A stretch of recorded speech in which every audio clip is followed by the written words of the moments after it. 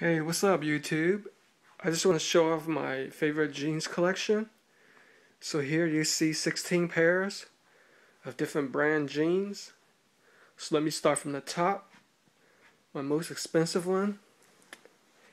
And I don't usually pay a lot for jeans, so this one is what retail for like $88. My only pair of Rock & Republic still has a tag on it. I notice this one fits pretty tight so that's why it's my first. So here's my previous second best pair. Buffalo. Notice it tore around here. So the quality is not great. So here's another pair of Buffalo. Same over here. Alright, let's just go down list.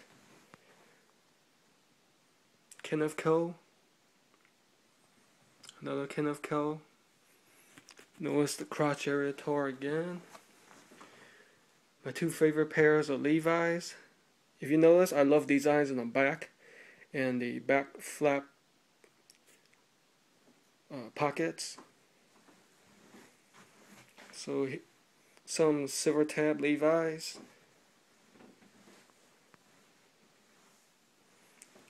S skinny pair of Levi's.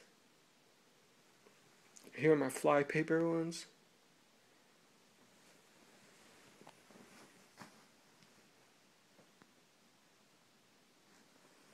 Another pair of flypaper. And this is my only pair of Departed. And then lastly, I even have a pair of South Poles. It's pretty funny why I got this one. Because it reminds me of my favorite pair of buffalo that tore in the crotch area. So that's why I picked up this pair. I mean, if you compare right here,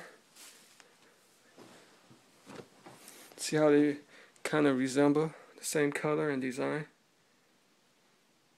Hey, but what you can't compare a south pole to a buffalo. So there you have it, my jean collection, 16 of them nothing spectacular. I don't spend too much on a, one pair of jeans.